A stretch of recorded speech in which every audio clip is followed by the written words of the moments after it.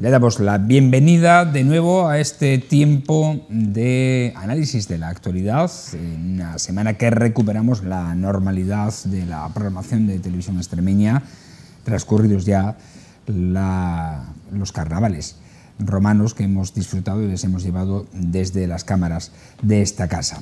Hoy, para prestar atención a esa mirada que hacemos a la actualidad, nos van a acompañar en este tiempo de picota. Domingo Hidalgo, ¿cómo estás? Buenas noches, bienvenido. Muy bien, paz y bien a todos. ¿Qué tal la semana? ¿Bien? Nada, felicitar, como no puede ser de otra manera, a Televisión Extremeña, a ti, a tu gente, porque aunque yo no soy carnavalero, eso no significa nada, porque hay que alegrarse del bien ajeno y hay que dar también la posibilidad a que la gente pueda ver y seguir los carnavales desde casa, porque no tienen, por las razones que sean, por razones de salud, por razones de ocupaciones, por razones horarias, las que sean, de no poder ir al María Luisa y de no poder seguir los carnavales.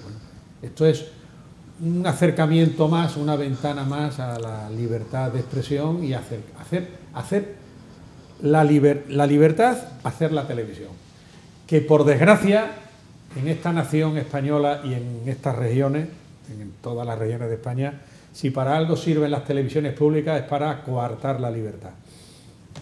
Gracias. Lo que nos toca, Antonio Vélez, buenas noches, bienvenido. ¿Qué tal? ¿Cómo estás? Pues muy feliz de estar con vosotros otra vez decíamos ayer, y un, en, este, en este retomar de la comba dialéctica, yo quiero hacer un recuerdo especial a Isabel Mijares García Pelayo. Sí, creo que una emeritense gigantesca nos ha dejado, en fin, es una historia muy larga, su madre Carmelina García Pelayo era una persona muy querida, en fin, una mujer adelantada a su tiempo. ¿eh? Adelantada a su tiempo. Sí, es cierto, hay que decir. Mi, más sincero recuerdo para ella. tenía una notoriedad importantísima y una importancia extraordinaria en el mundo de la enología. Y algo que desde luego no podemos dejar de lado, no podemos dejar de lado. Yo hace diez días recordé cómo la nación española estaba asustada por los que ahora son sucesores y los que ahora están también apoyando al gobierno, por los sucesores de ETA. Me recordó la época de los años de plomo, pero los atentados terroristas se sufrieron sobre todo en las provincias vascongadas, en Madrid, en Barcelona, en León, en Salamanca, en Sevilla. Seguro que más de una ciudad se me queda Barcelona. Barcelona, lo he comentado. Galicia, alguno hubo también. Lo que no sabía que íbamos a tener atentados terroristas en Barbate. Y que de nuevo la Guardia Civil tenía que poner sus cuerpos ante un ataque terrorista de, quien se siente impune ante la ley, que en este caso son terroristas narcotraficantes.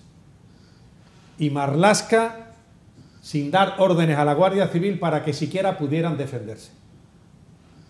Y hay que recordar a los dos guardias civiles fallecidos, hay que rezar por sus almas, que Dios los tenga en su descanso en la vida eterna, y hay que rezar también para que se consiga la mayor de las recuperaciones del guardia civil gravísimamente herido, después de que se rieran de ellos al haberles llevado a la muerte a prestar un servicio que era un servicio imposible porque les llevan con las manos atadas a la Guardia Civil.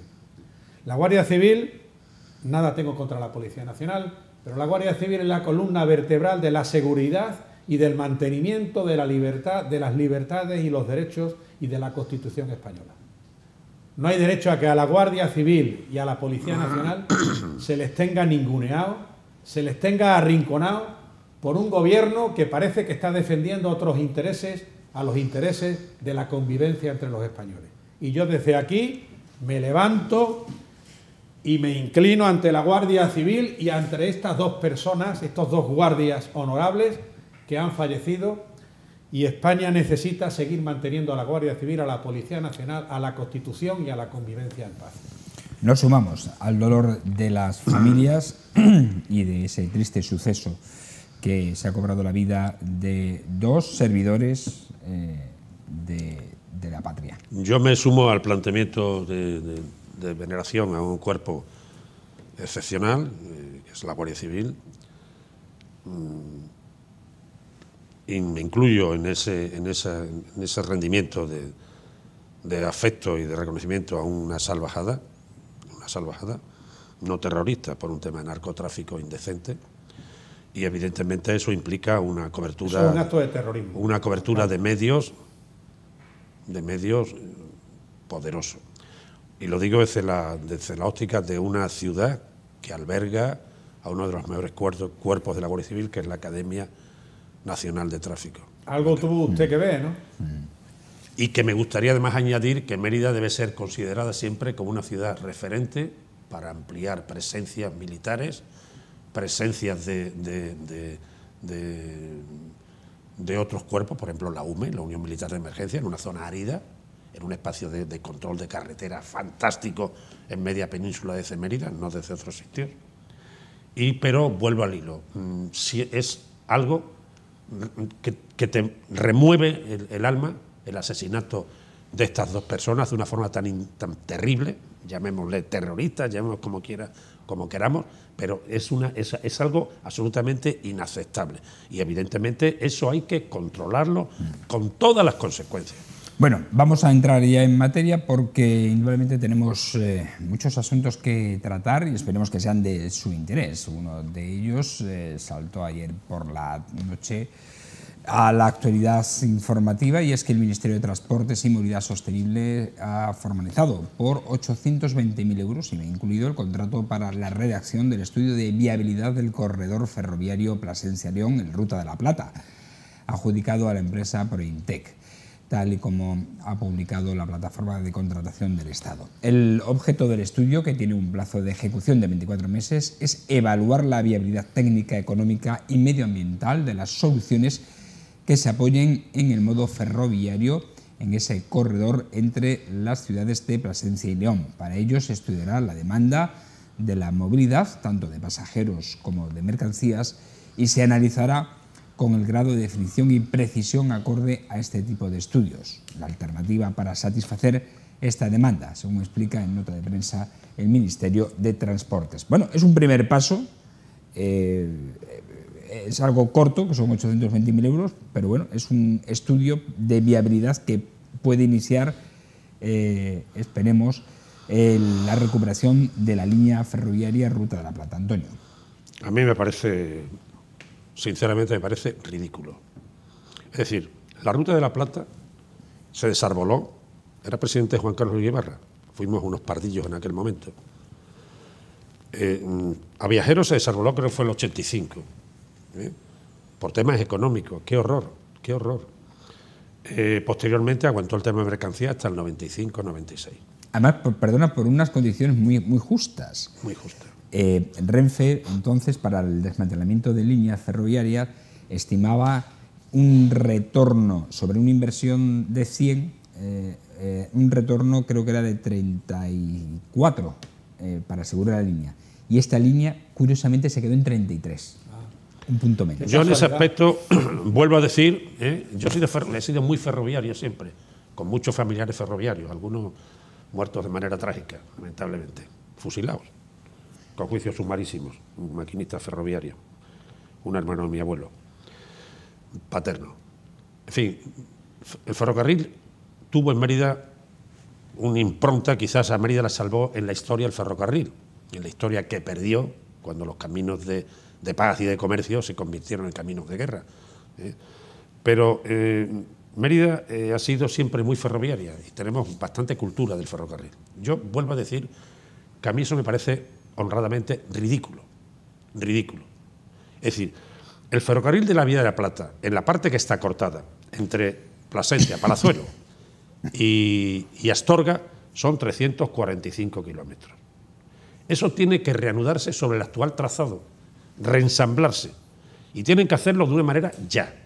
¿eh? No puede esperarse a, planteamientos de consorcio con Europa, de, vamos, de acuerdos con Europa, hasta el año 40, 40 y tantos. Eso es una absoluta inviabilidad. Y planteo, respaldo a Juan José Hernández Ramírez, que está en esa plataforma. Yo no pude ir a la reunión por temas familiares, me fue imposible aquí en Mérida, pero yo estoy de acuerdo totalmente con ellos. No se puede perder ni un día. Esa plataforma, que en un momento determinado se transformó a, Vía Verde en una parte de Extremadura, tiene sus trazados hechos ahí. Hay que ponerlo en orden. ¿A qué va a funcionar? ¿A 80, 100 kilómetros? Bueno, pensar en un nuevo trazado que nos lleve 30 o 40 años es una inmoralidad. Eso tiene, tiene y se lo digo también a, Juan Carlos Ríos Ibarra, ¿eh? que tuvo, tuvo la mala suerte de que le tocó a él cerrarlo, quizás porque no se evaluaba el ferrocarril en la medida que, se, que se, evalúa hoy. ¿eh? que está en el Consejo de Estado, que fuerce al Gobierno desde el Consejo de Estado a cometer eso de forma urgente a las tres comunidades autónomas, Castilla, León, eh, esto, Extremadura, Andalucía, por cierto, hoy en, manos del mismo partido, que fuercen la reconfiguración de esa vía, ¿eh? En los puentes que existen por baños de montaña, por su trazado, entre Plasencia, entre Palazuelo y Astorga. Y luego se verá otro trazado, se verá lo que sea. Ese tren funcionaba, lo hemos llevado muchísimas veces. Yo cuando estaba funcionando en Burgos, me iba a Salamanca, cogía, cogía el tren, me venía a Mérida. Quiero decir que, esa, esa, línea ha. Es una línea vertical ¿eh? peninsular, de arriba abajo, Cantábrico, Atlántico y tal, hasta eh, Atlántico Mediterráneo, hasta Sevilla, eh, Cádiz. Es decir, esa, es una línea que tiene que, reponerse en ese... es tremendo que para ir de Salamanca a, a León hay que ir por Valladolid. Es surrealista. Esa es una línea, y además una línea, lo digo también, se lo digo a Juan Carlos Ibarra también, en la medida que él está en un Consejo de Estado y puede tener una capacidad de presión, y a los diputados extremeños del PSOE, del PP, que fuercen esa historia. Porque esa es una línea que además está pegada a una frontera, una frontera que ya no es frontera, con lo cual todo el juego de conveniencias, de cercanías en el juego con Portugal, de una, de una frontera larguísima, ¿eh? larguísima, eh, eh, esto favorecería a ambos espacios a ambos espacios. Y eso, eso no se puede parar en este momento, en mi humilde opinión, a pensar en un nuevo trazado. Que se piense a largo plazo en otro nuevo trazado. No pasa nada porque nos regalen un plus. ¿eh? No pasa nada. Estamos hablando de un territorio aquí solamente de Extremadura que son 42.000 kilómetros cuadrados. ¿eh? Pegado a una larga, una larga frontera con la vecina Portugal, que ya no es frontera. ¿eh? Entonces, ese juego hay que jugarlo. Ese juego hay que jugarlo de forma inmediata, sin perder ni un minuto. No esperar al año 40, por Dios, qué horror, al año 40. ¿Por qué no se sigue funcionando en esa, en esa línea, en esa línea hasta Sevilla, hasta Cádiz, de Sevilla a Córdoba, al, sur peninsular, al Mediterráneo? ¿Cuál es el problema? Eso, eso, es un eje. Hay dos ejes diametrales que pasan ambos, debían de pasar ambos por Extremadura. Pasan, de hecho. Uno es el eje Lisboa-Valencia, ¿eh? por La Mancha y luego en, Plaza Tortas, Puerto Llano, a Madrid, a Córdoba y luego por Alcázar de San Juan, Valencia, Barcelona, el eje mediterráneo. ¿eh? Ese es el gran eje peninsular diametral, horizontal. Y el otro gran eje vertical, ferroviariamente existente, ¿eh? a resamblar esa línea, ese, espacio en Plasencia y Astorga, que vale mil millones de euros, a tres millones de reconversión, a dos millones y medio. ¿Qué vale? ¿200, 300 millones? Pues que se haga ya. ¿eh? Y eso tenía que exigirse como un elemento de demanda exigente de una región pobre, ¿eh? Ruralizada al máxima y maltratada. Bueno, no sabemos si este estudio de viabilidad al final eh, es como las comisiones, forma una comisión para dilatar en el tiempo la decisión. Domingo. Esto es una forma, otra manera, además, una manera que va a salir muy cara, vale 820.000 pavos que eh, alcalde Antonio y yo hay días que no los ganamos y tú tampoco, hay días que tampoco los ganas. ¿eh? 820 mil pavitos. ¿Para qué? Para tomarnos el pelo, para decir que están haciendo algo. Hombre, hombre, eh, lleva razón alcalde Antonio en todo lo que ha dicho. no nos olvidemos, el oeste español es el culo de la nación española. Hagamos un parangón, un paralelismo con el Levante, a ver si tienen los trenes que tiene, por lo menos tienen trenes, nosotros es que no tenemos. ¿Por qué? Porque la ruta de la Plata se convirtió en un camino de cabras. Entonces le vamos a echar al culo de la, del oeste de España, de España, le vamos a echar más estiércol, vamos a cerrarle. Y ahora querrán empezar a contarnos que se va a recuperar la ruta de la Plata. Pues esto me imagino que va a ser una fotocopia de lo que ha venido ocurriendo con el famoso AVE, que en, Extremadura iba a haber el AVE desde el año 90 y estamos todavía en el 24, han pasado 34 años y aquí seguimos. Mientras gastamos y gastamos y gastamos y eso sí, nos empiezan a vender los gabinetes de comunicación, que empiezan a contarnos que se va a hacer, que se va a hacer, que se va a hacer la Ruta de la Plata, alcalde Antonio, querido director, queridos televidentes, tengo la impresión que no la vamos a ver recuperada. No la vamos a ver recuperada. Y yo ya desde aquí digo, a lo mejor hubiese sido muy positivo para Extremadura en vez de una alta velocidad, una velocidad alta. Ha estado muy agudo ahí, alcalde Antonio, al decir resamblar. Es decir, reponer sobre lo existente. Bueno, por ahí se tiene que empezar a lo mejor. Porque es que si no nos van a vender que van a hacer, que van a hacer, y venga proyecto, y venga pasta. Y no lo vamos a conocer.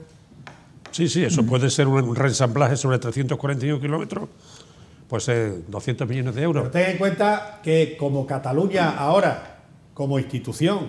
Es algo más, son 300 millones, pero es unos presupuestos generales del Estado en inversiones el chocolate del loro. Ten en cuenta que nos tiene Eso es el chocolate del loro. Alcalde. Y eso tiene que ser, yo estoy en desacuerdo. Tiene que seguir eso va a ser. y las provincias Domingo Hidalgo, eso va a ser. Que nos tienen que seguir robando. Eso va a ser porque tiene que ser. No va a serlo. Eh, y, la culpa.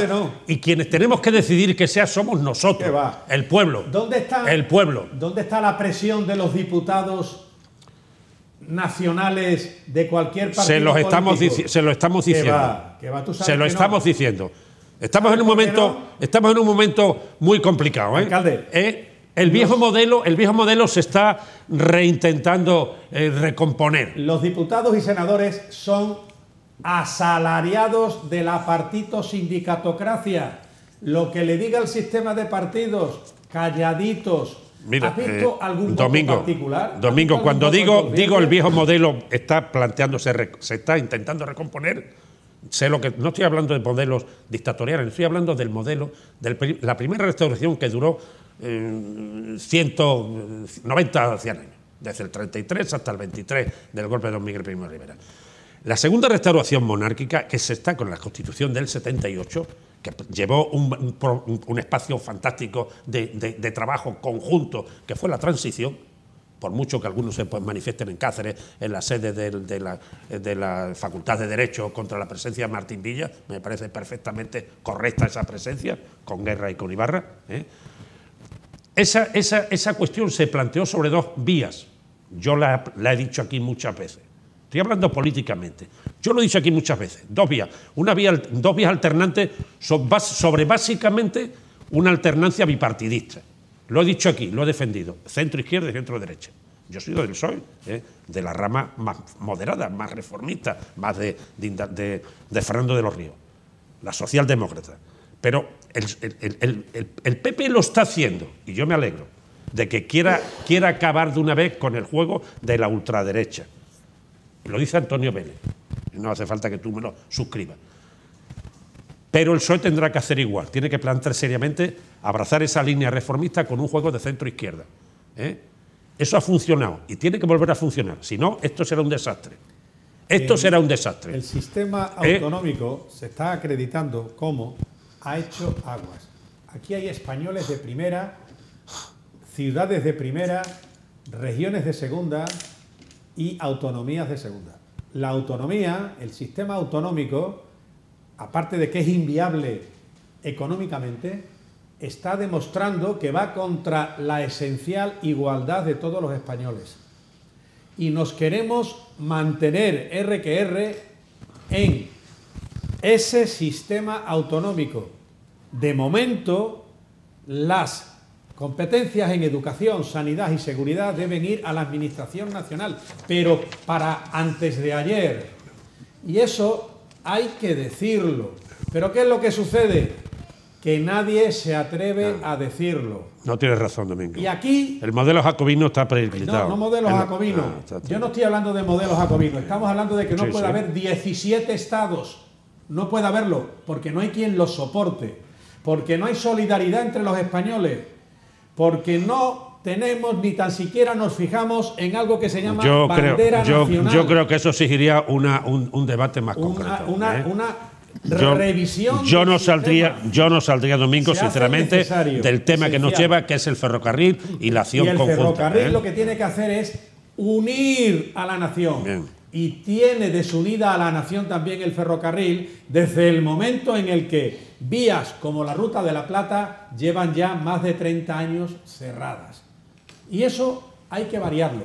Y ya aprovechando del Bien, bien. ferrocarril, algo que pueda hacer Adif o Renfe, o me da igual, porque para mí es el mismo pescado, es el mismo pez, Adif y Renfe, Renfe y Adif hay que poner más y mejores servicios de tren Madrid, Badajoz, Badajoz, Madrid. Porque hay en muchísimas ocasiones en los que no hay billetes.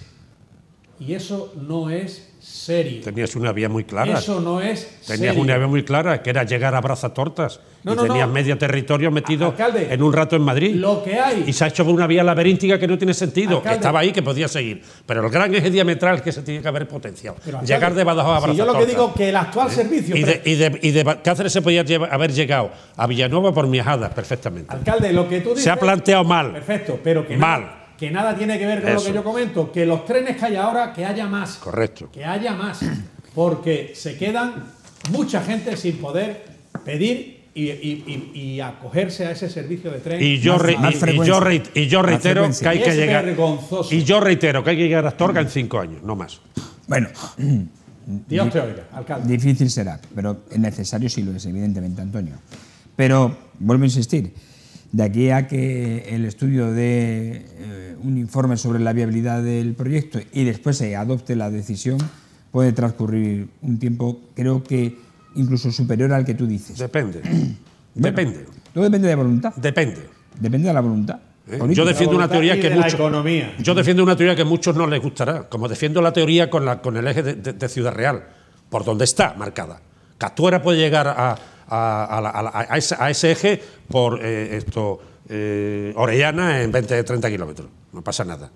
O sea, el juego es el que es, porque yo no tengo por qué ir a Puerto, a Puerto Llano para ir a Ciudad Real haciendo 60 o 70 kilómetros más. Yo quiero ir por donde se ha ido siempre, por una carretera que está, que está trazada y que se puede, se puede desdoblar, como se desdobló, se han desdoblado los sistemas Redia, la Red Nacional de, de- de Itinerarios Asfálticos, los Redias se desdoblaron en autovía. La, la autovía Sevilla-Málaga es un Redia desdoblado. Y la de, y la de Navacerrada, la de Navacerrada. Nuestra autovía, La de, la nuestra de- autovía. la de Jaén, la de. La ¿Cómo de- se llama? Alcalde, la nuestra es una. La de Madrid, la de Madrid. La A5. La, A5 La de Madrid, la de, la no, de pero Madrid. y la de Madrid eh, por hacia, hacia Andalucía también es una redia desdoblada.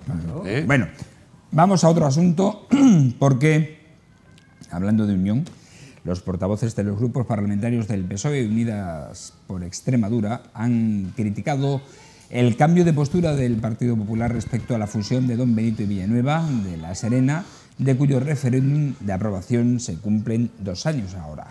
Una cuestión que este niega y recuerda que existe un acuerdo para realizar una nueva consulta popular. En una rueda de prensa posterior a la Junta de Portavoces de la Asamblea, tanto Irene de Miguel, de Unidas por Extremadura, como Juan Ramón Ferreira, del PSOE, han recordado que el PP, liderado por José Antonio Monago, defendió el sí a la fusión, pero que tras el acuerdo con siempre don Benito tras las últimas elecciones han sido contrarios a la unión, cambiando así, dicen, de opinión. Según Ferreira, en, estado, en estos dos años se ha certificado la falta de palabra de la presidente del PP extremeño, María Guardiola, eh, que por quitar, dice, a un alcalde socialista, llegó a un acuerdo con siempre don Benito y eligió dinamitar el proyecto y prefirió engañar, dice, a los extremeños. No obstante, ha asegurado que el PSOE seguirá trabajando por la fusión. ¿A ti qué te parece esto? Pues yo a mí me parece una chorrada. Ese es el problema que tiene el PSOE, visto lo visto en Galicia, la fusión de Benito y Villanueva. ¿Cuál es el problema? Es un problema entre ellos, ¿no? Sea, yo digo otra cuestión. por ejemplo, como contrapartida, yo le pido al PSOE que se preocupe porque Mérida sea la sede de la delegación del gobierno. Por muchas razones. Primero, porque está en el centro de Extremadura, diariamente. Segundo, porque las delegaciones del gobierno tienen que estar donde, estén, donde esté el Consejo de Gobierno de las Juntas Autonómicas. ¿eh? Y está en Mérida.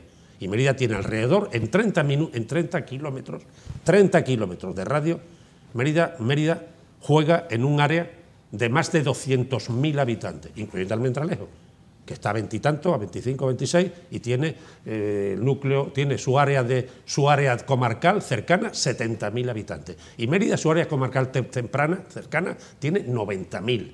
90.000, porque Mérida de extrarradios tiene Mira el Río, Proserpina y, y El Vivero.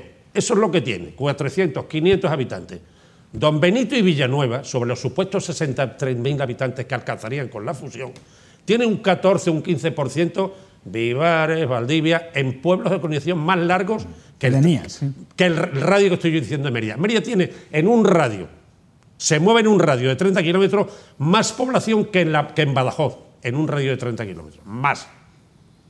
Mérida tiene más de 200.000 habitantes en ese Mérida, Almendralejo, Calamonte, porque esta, por ejemplo, no le preocupa al PSOE que, por ejemplo, Arroyo San Serván esté en, los juzgados de Montijo. Está más cerca de Mérida, 12 kilómetros, que de Montijo, que está a 20, 18, 20. O sea, ¿qué sentido tiene eso? Pero volviendo al hilo. Mérida, Mérida es la capital autonómica y tiene que ser sede de la, de la delegación del gobierno. Y Badajoz una subdelegación, porque lo dice la ley solamente tiene una justificación que puede hacerlo el Consejo de Ministros. Le vuelvo a decir a Rodríguez Ibarra lo mismo. Desde el Consejo de Estado, dile al, dígale al Consejo de Ministros, de Ministros que Mérida sea la sede de la delegación del Gobierno. De la delegación del Gobierno. ¿Por qué? Pues porque Mérida es una ciudad que tiene una referencia histórica inigualable. En el año 298, ¿eh? Diocleciano configuró, salvó el imperio con la famosa divisiones eh, de, las diócesis, 12 diócesis. Una diócesis la hispanearon, la hispanearon en el año 298 se crea y la tarraconense, la Galecia, la Lusitana, todos, eh, la, Bética, todos tienen una capital, emérita. 298 años de la era cristiana, con Diocleciano. 298. Duró hasta, hasta la, entrada de los suevos, tal, tal, hasta el año 409. Eh, Cuidado. Es decir, la península ibérica en toda su extensión, Portugal con las Baleares ¿eh? y todo el norte de África, Marruecos, Tunisia, Tunisia, estamos hablando de un millón de kilómetros cuadrados, más o menos. Era la capital Mérida, es decir, es la primera capital de España. ¿Quién compite con Mérida en la historia? ¿Quién? Ninguna. Santiago, por supuesto, mucho más posterior, un milenio después. ¿Quién? Ninguna. Mérida es la primera capital de, la, península ibérica ¿eh? y del norte de África, de la península ibérica entera, Portugal y España. Quiero decir que, claro, eso está ahí. Y Mérida, ¿por qué no tiene la delegación del gobierno? Y, y Badajoz la subdelegación, porque es una capital de provincia. Pero en la nueva estructura del Estado, ¿eh? lo digo abiertamente, que se crea en la, en la actividad del 78, las Cortes Generales sustituyen al viejo modelo radial que creó un motrileño Javier de Burgos en 1833, configurando las provincias. Ese elemento se hizo en una decisión de un secretario de, Estado, un secretario de Estado, un decreto. Sin embargo, el, Estado autonómico, que tampoco le gusta a Domingo, ¿eh? configura un nuevo modelo más federal, cuasi federal, del cual en un territorio inmenso, la capital más antigua de la península, curiosamente, es la capital de Extremadura, es Mérida. Por tanto, yo le pido al PSOE que, respalde, proteja y le dé brillo a esa figura. Por ejemplo, a mí me interesa mucho más que el, que el PSOE hable de universidad en Mérida. ¿Por qué no tiene Mérida una universidad propia de, artes, de lo que sea? Una universidad entera. ¿Por qué no? ¿Por quién lo niega? No tiene Huelva una universidad, y Jaén tiene otra, y Sevilla tiene, tres, y Córdoba tiene una, y todas las capitales autonómicas, provinciales. ¿Por qué Mérida no tiene una universidad propia? ¿Por qué Mérida está relegada en zapatos de japonesa cuando se incorporó por parte de Acedo y por parte del acuerdo de la, de la, universidad la Politécnica de Mérida, que podría ser una universidad ahora acojonante, en zapatos de japonesa. En, que ha crecido el campus de Mérida, en 700 alumnos, en la, en la vieja Cruz Campo, en la vieja Gavilán, que compramos algunos en el Águila, que las compramos algunos. Ese es el, ese es el campus de Mérida. Mérida, capital autonómica, ¿tiene equiparación con las otras 17 capitales? Ninguna. Ninguna. Toledo tiene ya 900.000 habitantes. Mérida está anclado en los 60. Pues yo le pido al PSOE que juegue al papel de defender a Mérida como capital autonómica, sede de la acción del gobierno y le dé la comba necesaria de una ciudad capital autonómica equiparable a las otras 17. Vamos a seguir pulsando la opinión, Domingo. Esta es la gran muestra de que el Partido Socialista Obrero Español está en caída libre. Está en caída libre. Si el PSOE lo que tiene que pedir es esto, es que, no le preocupa ni a los extremeños ni a la gran mayoría de los de Don Benito y Villanueva. Hombre, a mí me gustaría que el PSOE dijera algo, el PSOE extremeño, referente a la inmigración ilegal. Me gustaría que dijera algo. Que dijera algo sobre los indultos a los golpistas que su gobierno de la nación ha aprobado. Que dijera algo que qué le parece que el gobierno de la nación, el Partido Socialista, se apoye para gobernar en los descendientes de los, terroristas, en los partidos golpistas de la región catalana. A ver qué le parece, qué le parece. ¿Qué le parece al PSOE también que el campo esté en la calle y los ganaderos y los transportistas? Porque la Agenda 2030 el nuevo orden masónico mundial nos está empobreciendo. ¿Qué, le parece al PSOE? Que nos eh, empobrezcamos todos. Que el recibo de la luz sea más caro. Que la cesta de la compra esté cada vez más cara. Los huevos, el aceite, el pan, la sardina. Eso parece que no le preocupa al PSOE. Lo que le preocupa al PSOE son estas cosas. Al PSOE parece que no le preocupa el paro, que suban los impuestos, que la seguridad social a los autónomos lo que hace es machacarlos, que los empresarios tengan que pagar todavía más seguridad social. Parece que al PSOE tampoco le importa que los universitarios que hacen las prácticas en las empresas, las empresas tengan que pagar seguridad social. Por eso, con lo cual impiden económicamente que se hagan prácticas. Este es el PSOE, este es el PSOE que se va ahora, el presidente se ha ido a Marruecos a rendirle pleitesía de nuevo y a arrodillarse ante el rey de Marruecos. Este es el PSOE que no cuida a la Guardia Civil, ni a la policía, ni le da medios. Y se tiene que preocupar de esto. Vaya regalito del PSOE. Bueno, eh, nos queda muy poquito tiempo y sí os pediría una reflexión sobre los resultados de las elecciones gallegas eh, celebradas este pasado domingo con respecto a el, juego de fuerzas que se ha generado con los resultados en esa comunidad. Antonio. Sí, yo simplemente te quería decir antes que aparte de las cuestiones que ha planteado Domingo, que son muy discutibles, como las que yo planteo igual, hay cuestiones aquí que, por ejemplo, con los tractores en la calle, la gente en Extremadura, en Extremadura, el mundo rural profundo, Montanche, eh, Alcuéscar, eh, Orellana, o sea, perdón, eh, Cordovilla, toda la zona esta, que debía regarse con riego por goteo, con el lácara, con, sobrante del canal de Orellana, no para regar arroz en Vegas Altas con tosis de 30.000 metros cúbicos, que es un robo histórico, hay que regular el agua. Pero esto, ahí hay un, históricamente un juego de olivar de más de 30 o 40.000 hectáreas en zonas despobladas, Montanche está despoblado, Alcuesca está despoblado, Cordovilla está despoblado, La Nava está despoblada, y ahí hay 40.000 hectáreas regables, 50.000 hectáreas con ricos por goteo, del sobrante del canal Torrellana. Del sistema de Cuenca, que no es de Don Benito y Villanueva, es el conjunto. Y volviendo al hilo, el, tema, el, tema, el tema, y eso, eso hay que plantearlo, y saber que la, inmensa mayoría de ese mundo rural profundo, con tres o cuatro hectáreas, no cobra ya eh, PAC. La paz la cobran los poderosos ¿Entendido? Por eso podemos hablar un día que tú quieras. Al hilo de Galicia, pues ha sido un tema muy duro, muy duro, claro, ha sido muy duro, porque se juega un mundo rural muy profundo, muy controlado, muy caciqueado, y se juega a un tema, a un tema también evidente de que posiblemente el nacionalismo gallego pues no debía ser la propuesta de apoyo del PSOE, eso tenía que haber planteado su propuesta, su propuesta, y no ligarla a tema del Estado. Eso está, está, más que visto en el país, en todos lados, y lo han dicho unos y otros. Yo no voy a entrar en un juego sectario porque no he entrado en mi puñetera vida. Simplemente que me sorprende, me sorprende ese, ese, tema y ese error de, querer ligar a Madrid, a todo el centro del sistema.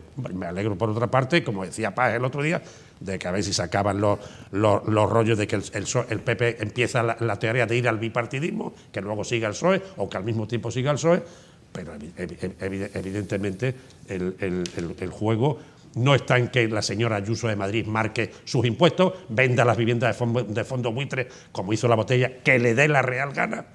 ¿eh? Y ese tema no es el juego del Estado, no es el juego del Estado, porque eh, eh, Domingo habla un poco del, sectarismo local, de las nuevas autonomías. Madrid, Madrid hace lo que le da la gana y se ha convertido en el juego capitalista, en el centro capitalista de medio mundo.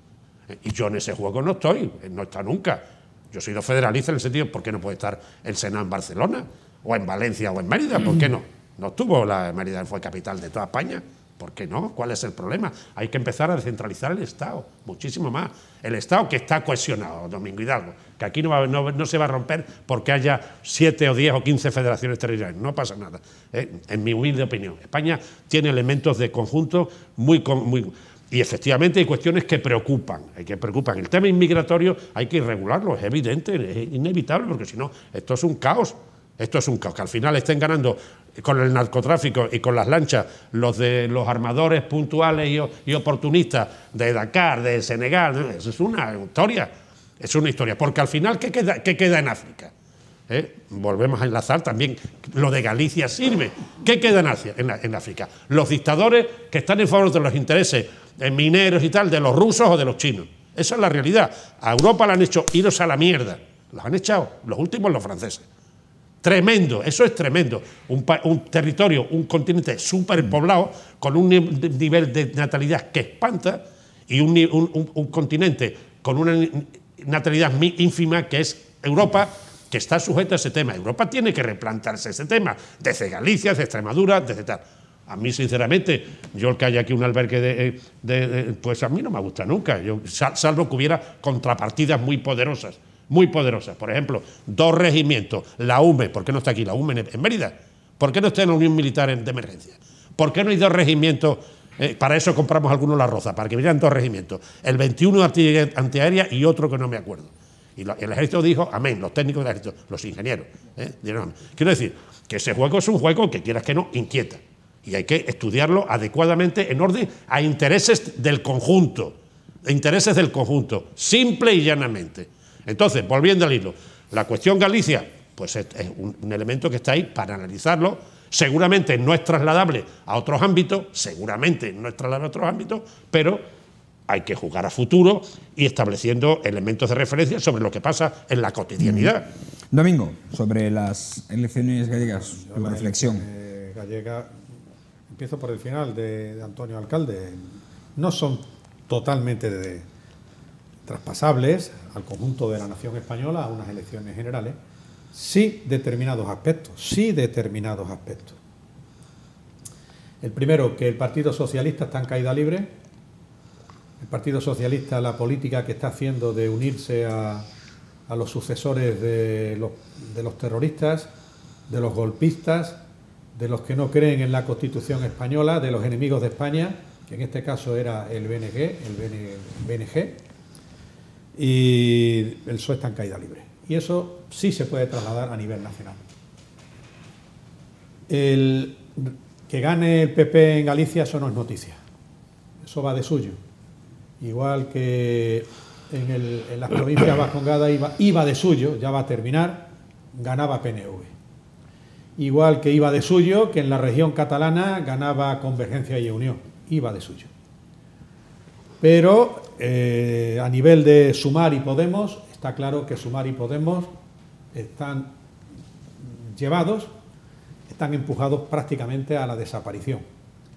En número de votos, Vox no ha conseguido el, el escaño, ningún escaño, pero sí es no es menos cierto, eso, con ser eso cierto, no es menos cierto que ha obtenido más, más número de, votos. De votos ¿eh?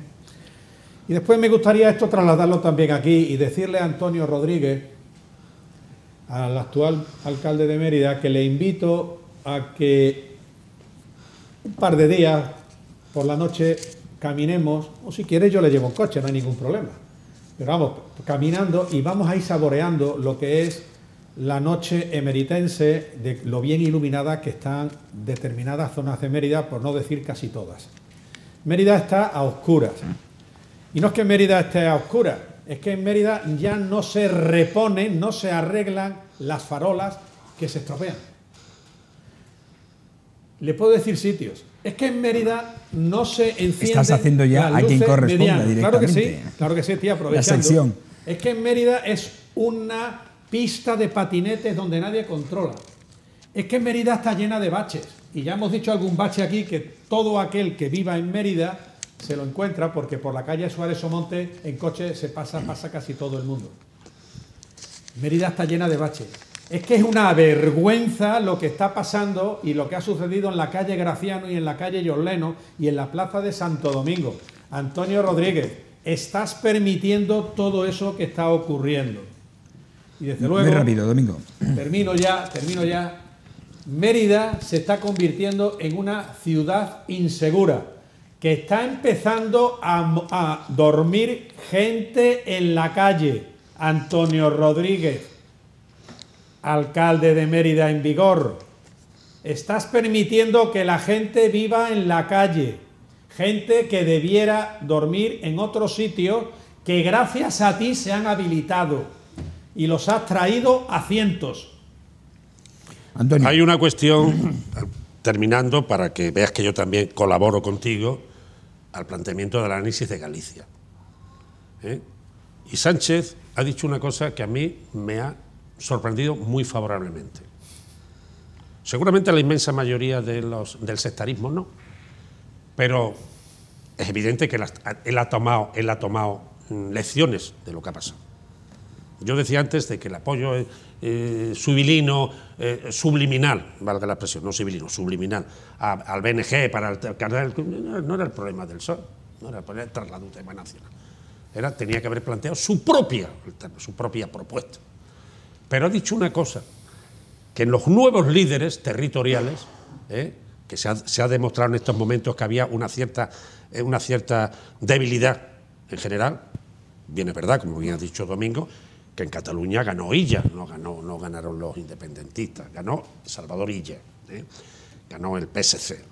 yo he dicho pero, antes, ahora sí es cierto. Pero, pero, pero quiero decir que esto, lo de la ruptura del PSOE, hay mucho camino que por ver. Mm. eso es eso es una apreciación muy, eufórica. Pero lo que ha dicho Pedro Sánchez es que sugiere, líderes territoriales que incluso, que incluso eh, esto trasciendan, eh, eh, trasciendan la marca SOE y que busquen elementos más transversales, menos ideologizados, lo cual es una apreciación bastante social en un país que pierde ya ese juego viejo de, los sectarismos populistas por un lado, alpargatas por otro, de caciqueros por otro, en favor de una sociedad que tiene ya de media en España, aunque esté mal distribuida, casi 30.000 euros per cápita. Quiero decir, otra nueva sociedad.